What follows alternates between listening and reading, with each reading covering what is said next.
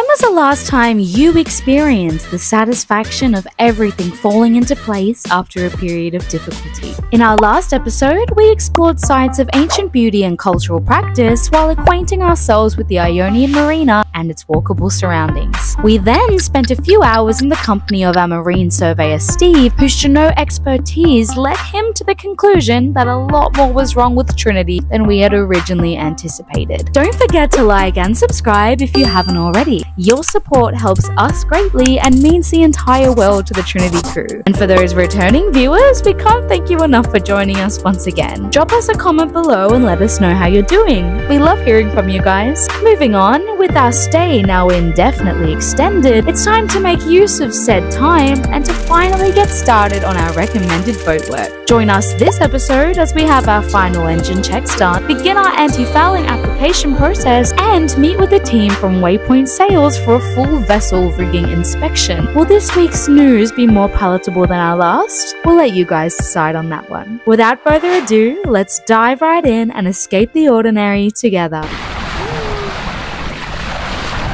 Good morning.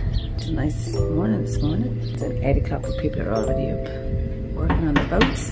There you go. Such a nice view from here because you can see right out into the Gulf. Surrounded by so many mountains. It's really, really pretty. I'll make some coffee. It was time for the three of us to check on Trinity once again. After receiving advice from shipyard technicians and conclusive evidence from our very talented surveyor Steve, we found a lot more to be wrong than Trinity than we thought. Let's join Martin in the yard for a briefly comprehensive rundown of the issues collectively noticed over the last few days. Okay, we have Trinity out on the hard to do some bottom work of the winter and to do some work on the top as well. We might as well, we're going to have to stay here. But I'll start from the back. The rudder and, all the steering gear is fine. You can hear that with the propeller. We've heard this sound coming through. We've had it for quite a while, uh, probably from the start to be really honest. You don't you only hear it on low revs when we're in first gear. The problem is that we've got some play here in the cutlass bearing inside this P bracket. It needs to be replaced. Everything needs to be cleaned. There's a lot of sealing and all around here that needs to happen. The sacrificial anode here, so we're going to replace all the anodes. They tend to attract any of the rust to them instead of the other parts of the boat. But again, she just needs a good clean and she needs the whole bottom anti-foul. So two new coats of anti-foul. Here's some scrapes. This is where the surveyor was excellent. Really, really good. Took some scrapes. Uh, these are the through holes. These have gone pink, which according to the surveyor is a sign that they're really old and there's some electrolysis issues happening on the boat, which he gave me some solutions for. We might put that into a later video. When we bought the boat, they said that all the through holes and the sea cocks on the inside were all replaced a year ago. The surveyor said, absolutely false. These are old. This happens when they're old. I've- had a plumber look on the inside the same and, and the seacocks are, are, are beginning to show signs of, of pinkness as well, which is a problem. Now, the next big thing really is at the keel. You can see the keel, there's a lot of layers on the keel, a lot of problems with the keel. It's in pretty bad shape, more than anything else. You see there's a lot of flaking of the old layers of anti-foul. Now, they did say it was a big job, I mean, there's a lot of rust here, hitting. Once again, these are things that should have been caught when we had the boat surveyed originally. These need to be treated. Possibly put an anode on the keel as well. Definitely sand it all down. They're actually recommending a big job, a sandblasting job. But we didn't have the time for that. We might have the time for it now. But anyway, it needs a big job.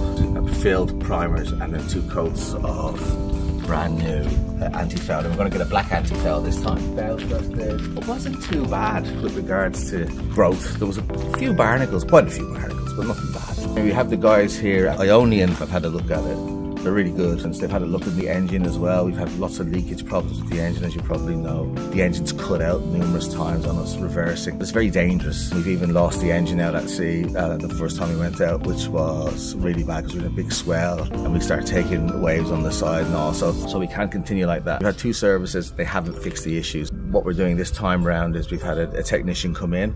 They've had a look at it. They found the problems already within minutes. They're very good. Anyway, we have an amazing surveyor. He's he's, he's put a 40 odd page report together as opposed to the first survey we had done.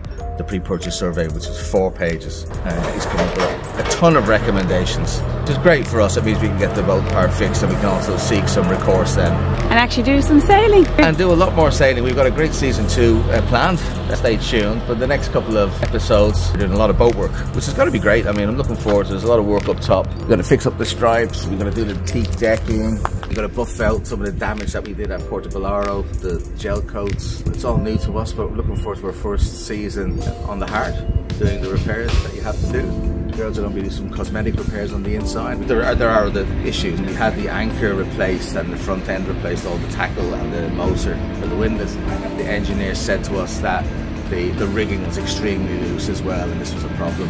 We've got a, a rigging inspection coming up, so fingers crossed. I'm sure they're going to find lots of things. So on the other survey, that was all good too, wasn't it? Yeah, when we had the pre-purchase survey, the rig was amazing, nothing wrong with it.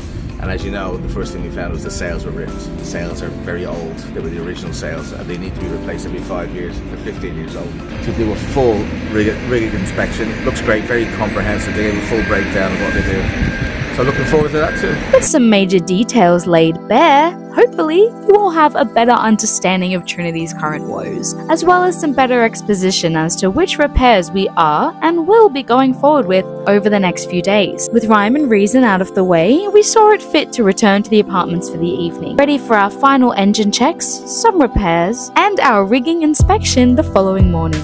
Join us on the way. I don't know if you see all that break on the water. Everybody's fishing along this coastline. It's unbelievable. Look, it's not but fishing rods. Each each angler has about 10 rods. He's got a couple of 10 rods. And there's a ton there. This guy's over here in the corner. They've got a ton as well. There must be 10 or 12 rods out on the corner.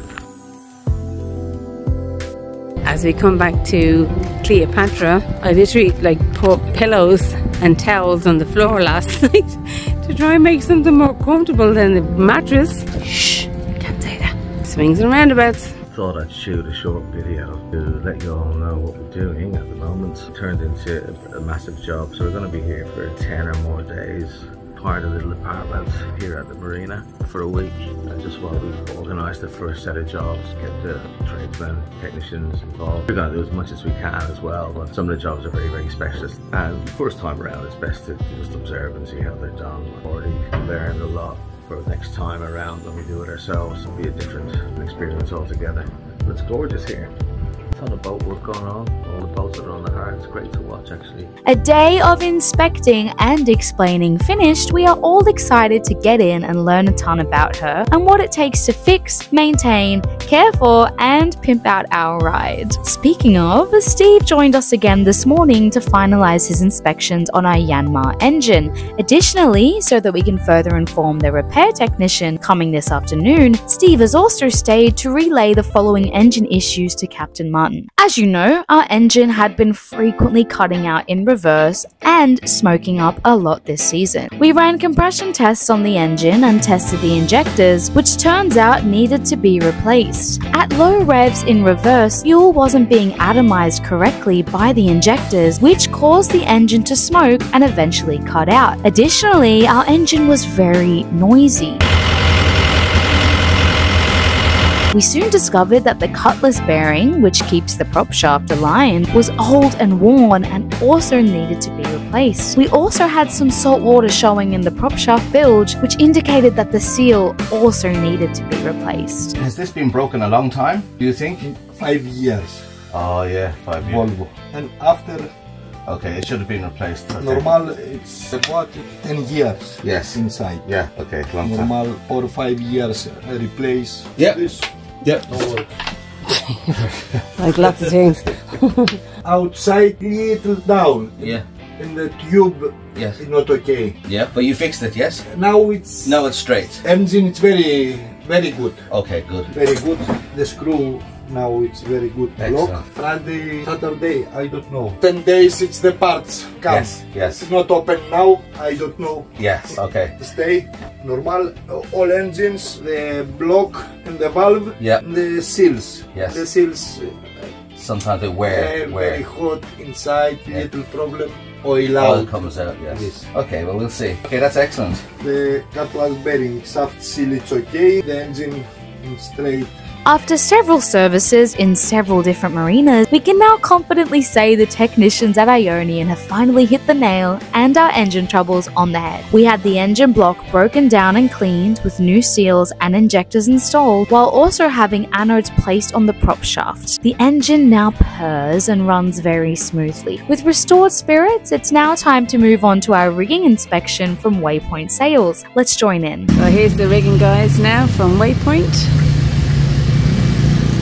Gonna go up and check the rigging. Before our work is completed, let's delve into the explanatory realm of boat rigging.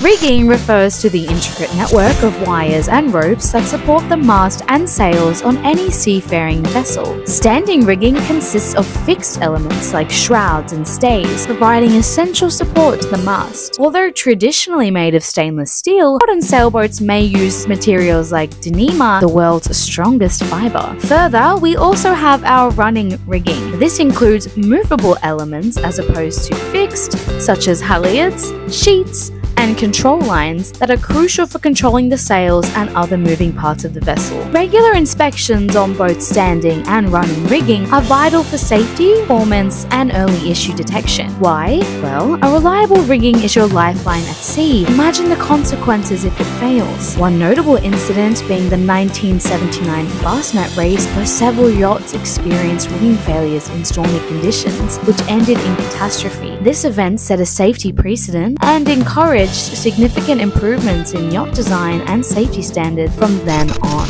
That's some high piece getting up there. Plus we're up on the hard, so it's even higher again. Anyway, hopefully there's not too much wrong. But so we're in for a bit of a surprise. Surprise!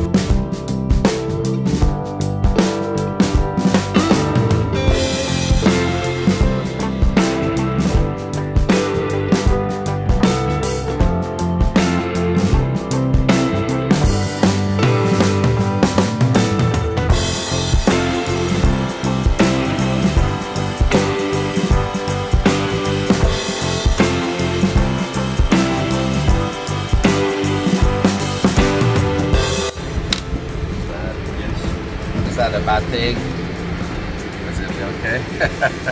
Uh, it's 14 years. Yeah, yes, it's it's it's original. You know, yeah, yeah. it's original. But then the new survey said you won't get insured. Yeah. After, so so uh, Usually it's about 12 years. yeah, yeah. And it's just the it's just the standing rigging that needs to be replaced every 12 years, or the whole rig. No, no, just just just the, the Yes. standing rigging. yeah, yeah. You don't have to change these The top. fittings. This Okay, fitting you yeah. change it the second time. Okay, That is- no worries. But The damage down here. Yeah, yeah, yeah. For this because there are some washers missing. Yes. You just need some washers and Okay. in between. Also, these are minor fix, not too bad. Yeah, yeah. Yeah, not too bad. yeah, all right. Another day, another upgrade. It's time to check in on Trinity in the dockyard one final time and see if the yard technicians have begun prepping her for our next big job. Follow along. Just went to the shop to get something to eat. I'm just saying Trinity has been sanded. Her keel at least. Tip her on the floor. Hello. It actually looks really cool. I touched it accidentally before and just all over my fingers. But hey, pretty cool. How do we feel? Yeah. Gas shots. How cool does it look?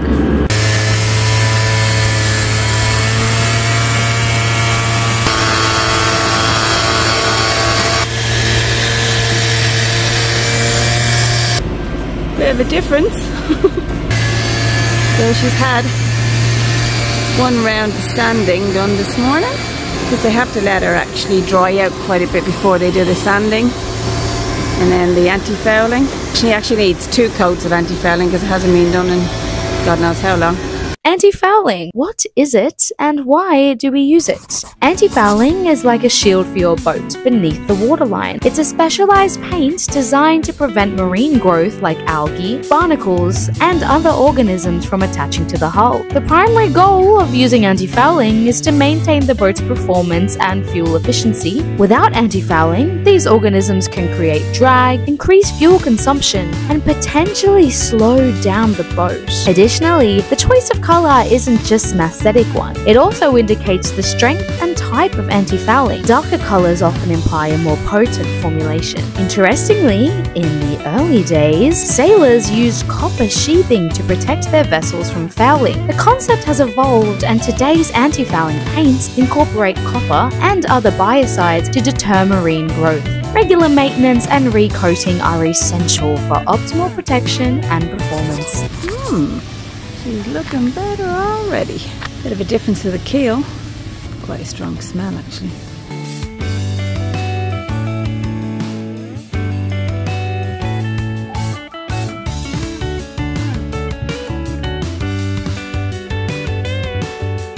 The difference that's making already.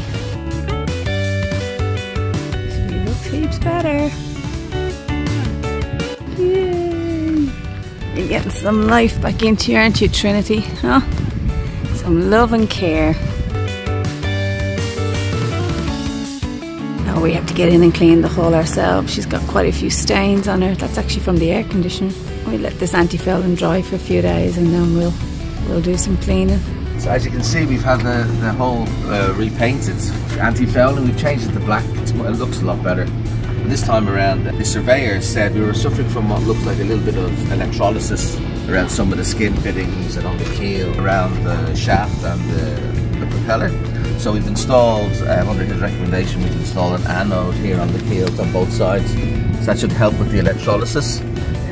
Yeah, so you see it's on both sides. We've cleaned out all the loopholes, all been clean. We got two anodes on the prop now. We've had one uh, put, put on here. There wasn't one on the end of the propeller. That'll help as well. Uh, there was one here on the prop shaft that wasn't very effective. Here's the old one. It's been on a very long time, but it didn't really the pitting in it, that means it's working. So we've cleaned the shaft right down with an angle grinder. We've repainted it, everything with anti-fouling. Shaft has been totally realigned now from the engine. The engine mounts were adjusted, the alignment was done. The propeller looks great, really, really smooth. Get a lot more efficiency out of it. All in all, it's been a very, very worthwhile exercise. She looks great. Looks absolutely fantastic. Now, she's a bit scruffy with all the work, but you can see changing the bottom to black has made a big difference. I think it looks, looks awesome now. Thanks, Captain. Trinity's getting some love put back into her, aren't you, baby? You're getting some love. With both existing, currently occurring, and future repairs shown, detailed, and paid for, you all are in for a treat as we continue on with Trinity's transformation over the final two haul out episodes to come. Join us next week as I take off traveling and Martin and Sharon give some internal and external boat work a right old try for the very first time. Success levels TBD. Are you ready? We can't wait to escape the ordinary with you. See you there, guys!